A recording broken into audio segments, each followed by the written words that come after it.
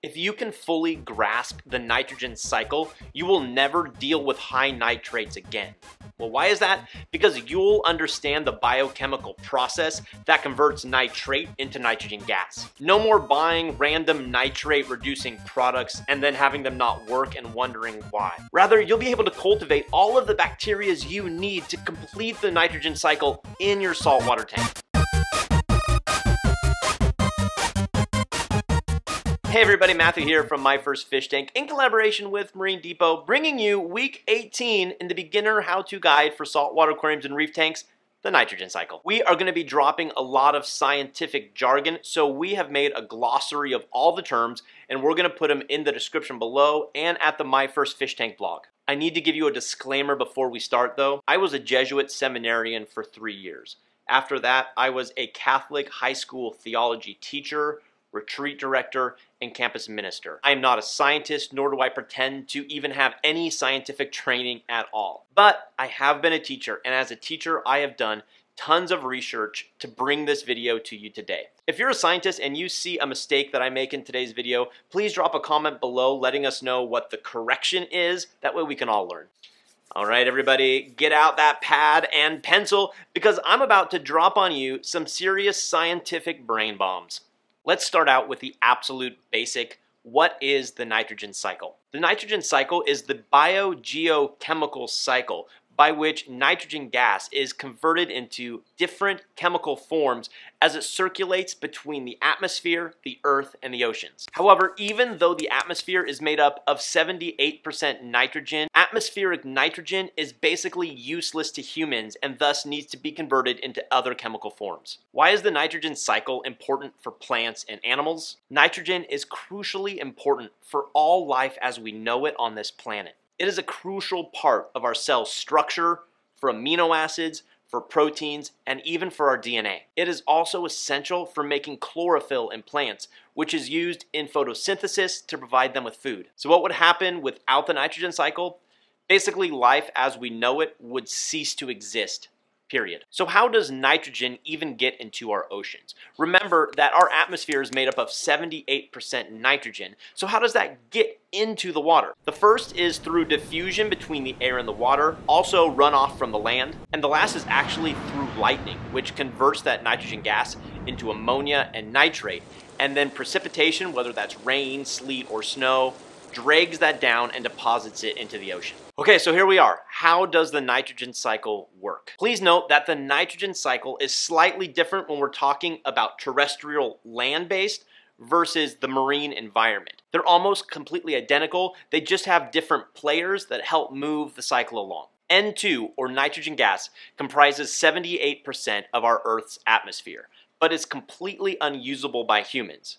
We breathe it in with every breath, but we can't use it. As we already mentioned, nitrogen enters the marine environment through diffusion, through runoff from the land, or through lightning and precipitation. Let's just put up over here the nitrogen cycle. You start with N2, nitrogen gas, then we get ammonium, which is NH4+, from ammonium to nitrite, which is NO2 minus, from nitrite to nitrate, which is NO3 negative, and from nitrate back to N2, which is nitrogen gas. Those are the basics of the cycle, but how do we work our way through it? The first step in the nitrogen cycle is nitrogen fixation. Nitrogen fixation is the chemical process by which nitrogen gas, N2, is assimilated into organic compounds, which is usable by life as we know it. Basically, it's the conversion of nitrogen gas, N2, into NH4 plus ammonium, which is an organic carbon-based compound. This first process of converting nitrogen gas into ammonium is known as ammonification.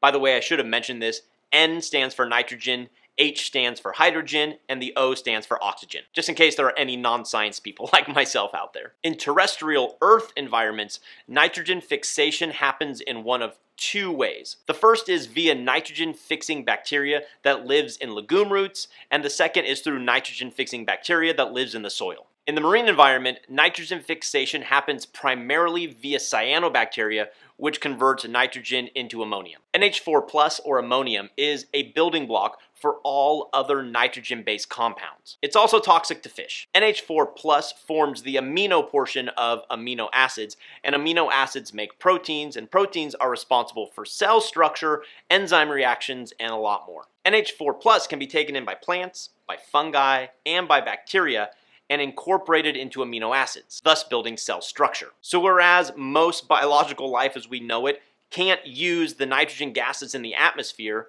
we can consume other plants and animals that have taken in that nitrogen and absorb that into our systems. All organisms have nitrogen-based waste, and in human beings, that nitrogen-based waste comes out in our urine. And like I said, we get our nitrogen from consuming other plants and animals and absorbing that into our bodies. For fish, the nitrogen-based waste is actually NH4+, or ammonium, and most of this is secreted through their gills.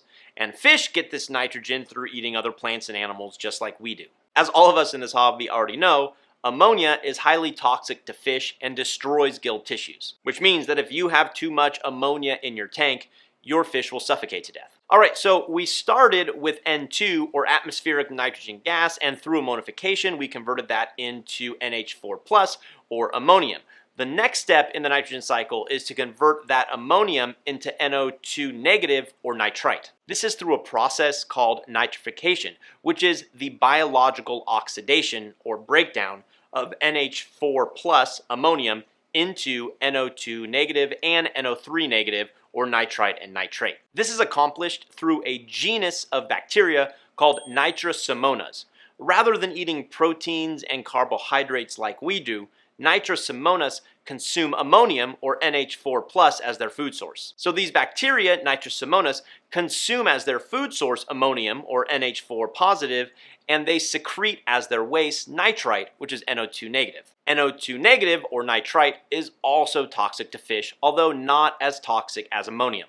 Okay, so just to recap, we started with nitrogen gas, and then through a process called ammonification, we arrived at ammonium or NH4 positive. Then through nitrification, we went from ammonium to nitrite, which is NO2 negative. Now comes the next step in the nitrogen cycle, which is going from nitrite to nitrate through another process of nitrification. A different genus of bacteria known as Nitrobacter oxidizes or breaks down NO2 negative to NO3 negative nitrate. Okay, at this point, we're almost done with the cycle. We started with nitrogen gas, we went to ammonium, we went to nitrite, and now we're at nitrate. But how do we go from nitrate back to nitrogen gas? First, let's talk about how to get rid of nitrates from your saltwater aquarium. You can do this in one of two ways. The first is through water changes. If you remove 50% of your water in your saltwater aquarium, you're also going to be removing 50% of the nitrates, or NO3. The second way is by adding live plants, macroalgae, which use the nitrate, the NO3 negative, as a fertilizer and a food source, thus consuming it. And then when you remove that growth at a future time, you're actually pulling nitrate out of your system. But while both of these two methods remove nitrate from your system, you're not actually completing the cycle by converting nitrate back into nitrogen gas. So we finally arrive at the last stage of the nitrogen cycle and the stage that most hobbyists seem to forget about denitrification. Whereas nitrification converted ammonium to nitrite to nitrate, denitrification converts nitrate back into nitrogen gas. Denitrification is the exact opposite chemical process from nitrification. Denitrification or nitrate reduction is the chemical process that reduces nitrate, NO3 negative, back to nitrogen gas. Whereas all the previous parts of this cycle relied on aerobic bacteria, this final portion of the cycle needs anaerobic bacteria. In an ideal world for your saltwater aquarium, your tank would become heavily populated with this anaerobic bacteria. That way, you wouldn't need to rely on water changes or on macroalgae to remove nitrate. Rather, you would actually complete the nitrogen cycle and that anaerobic bacteria would convert that nitrate back into nitrogen gas and it would re-enter the atmosphere. But as the name suggests, denitrification or nitrate reduction requires anaerobic bacteria, which means very, very little amounts of oxygen. And where would you find those in your tank? They're really found in one of two places. The first is at the bottom of a deep sand bed, and the second is deep inside the core of thick, large pieces of reef rock. That's it, everybody. That's it. We actually did it. Now remember, all of these terms are in the glossary below and at the My First Fish Tank blog. If you like this video, please consider liking this video, giving it a thumbs up, and subscribing to My First Fish Tank and Marine Depot. And be sure to tune in next week for week 19 the beginner how-to guide for saltwater aquariums and reef tanks, filtration. It's part one of four. We're to spend four entire weeks talking about filtration in your saltwater aquarium. And as always, everybody, take care, be well, happy reefing. We'll see you next time.